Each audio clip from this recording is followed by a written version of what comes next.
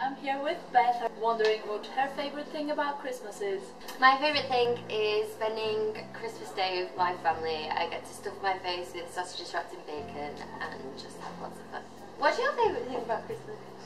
My favorite thing is when everything is decorated and lit up and you go around there and there's music everywhere in the street. My favourite thing about Christmas is spending time with my family. Uh, Christmas is always a time we can get together and have a really big party. My favorite thing about Christmas will be definitely going back home, going back to Poland. It's always nice. So Julian, what's your favorite thing about Christmas?